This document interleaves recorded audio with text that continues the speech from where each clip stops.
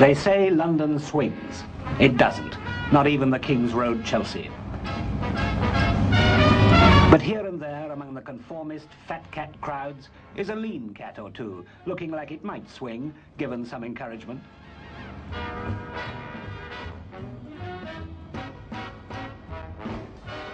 And in among the chain stores and supermarkets is here and there a shop that may have something all its own to say to the character who can send up a mass production car, to people who can put living before a living. World's End means where the King's Road ends, which shows what the King's Roaders think of themselves. Granny takes a trip, the shop behind the face calls itself, and it's typical of the non-typical conforming to the non-conformist image of the in. What they used to call way out, and before that with it, and before that groovy, and before that hep, and what Granny herself would have called the very latest thing, my dear.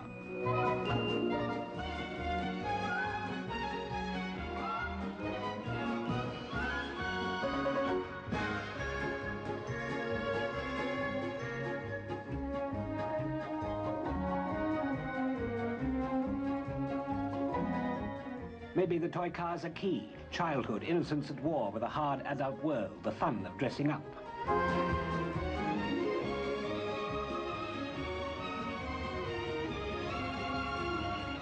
Hung on you, meaning both we sell clothes and we love you, which is good shopkeeping in any language. And the lollipop says what the toy car said. It's all another tiny colored womb, warm and gentle, in its way an escape from the H-bomb, television, and other horrors of the workaday world.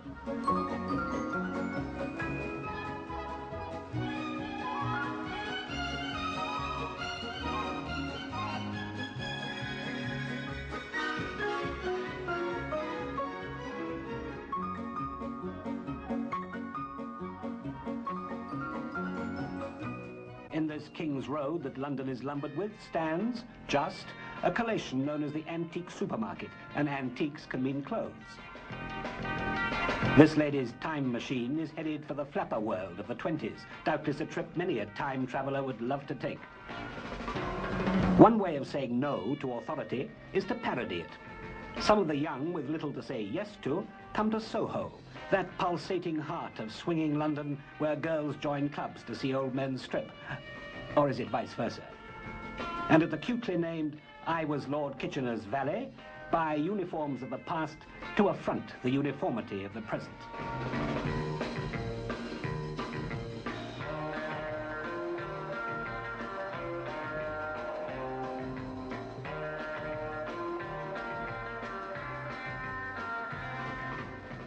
A street called Carnaby attracts those tourists who delight in the relics of Britain's past. Stonehenge, Brighton Pier, the House of Lords, but some natives are still seen, albeit heavily cloaked.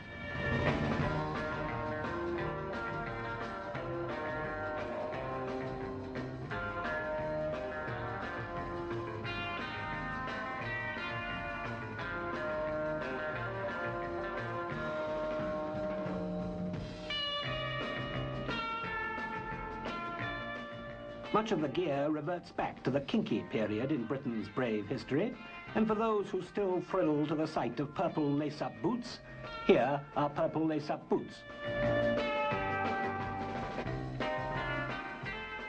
In Carnaby Street, you can't tell the assistants from the customers. Anybody addressed as madam would probably sue for defamation of character.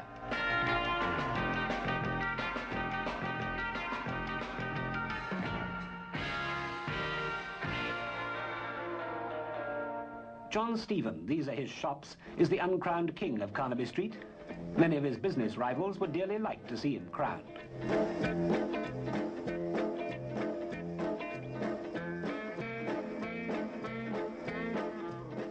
The return of the Dickie, for the man who can't afford a clean shirt but won't admit it.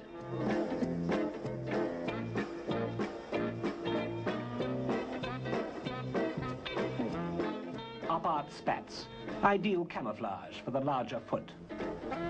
A shop called Gear, and you're never too young for in gear, until you're old enough to say so anyway.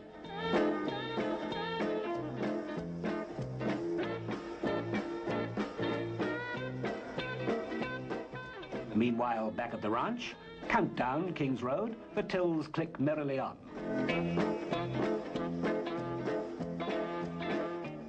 For all the strangeness, these are clothes to be worn, to be bought and sold. These soft, music-loud caverns of the avant-garde can be misleading, for they are the work cells of revolution. Once upon a time, just a year or two ago to be precise, fashion originated in the haute couture salons of Paris, then spread downwards through society in ever-cheapening copies with one predominant theme. Shops such as this would have interpreted the mode, but no more. Now they originate, and so do a dozen others in a dozen styles owing nothing to Paris or anyone else.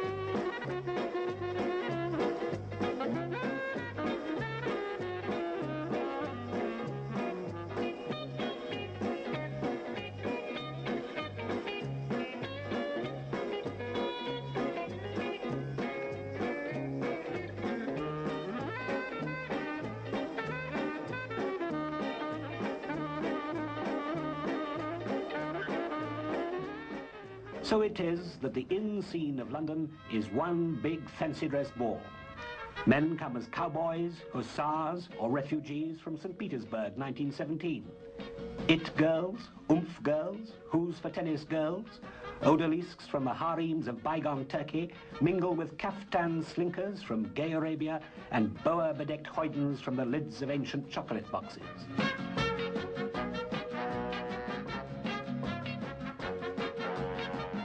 A super charade of happy happenings. Though it might be fun if some designer somewhere thought something up entirely new.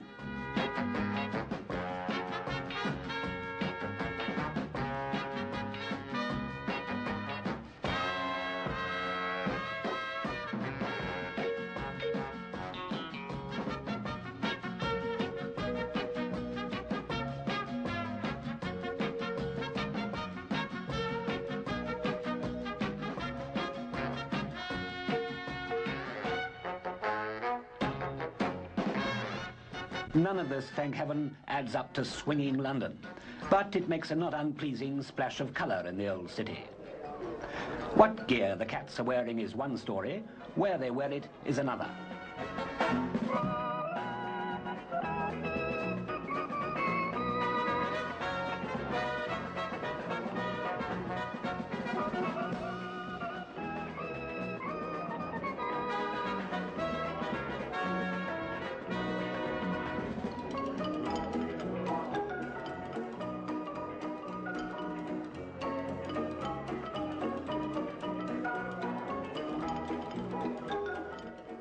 But whether here at Tiles, or here at the Bag Nails, or at Samantha's, or George's, or the Saddle Room, or any of the in-gaffs where they go, just don't take any of it too seriously, or you'll miss the whole point.